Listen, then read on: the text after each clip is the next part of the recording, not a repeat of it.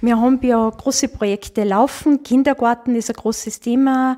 Äh, viele müssen einfach früher beginnen zu arbeiten und darauf reagieren wir natürlich, weil wir eine Warteliste haben und bauen nächstes Jahr einen großen Kindergarten, erweitern das, der was dann eben im September fertig wird.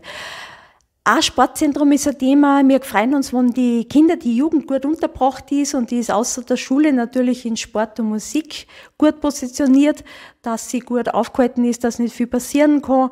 Und da wollen wir natürlich das Sportzentrum errichten, wo wir dann auf Schiene sind mit, mit den Finanzen, äh, wie auch in der Musik. Bei uns ist ja die Stadtkapelle ja sowieso sehr gut engagiert mit ganz jungen Mitgliedern von, habe ich letztens gehört, von elf Jahren bis Leute, die was schon 50 Jahre dabei sind, finde ich total toll.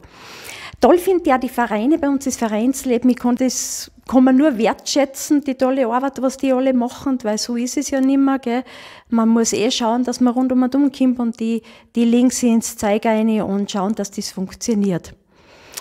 Ja, es sind noch viele andere Projekte in den nächsten Jahren, gell, egal ob Bahnhof, Postgebäude und so weiter. Und ja, da freue ich mich, wenn ich, wenn ich da in die nächsten Jahre viel verwirklichen darf mit den Bürgern und um die Bürger vor Radstadt.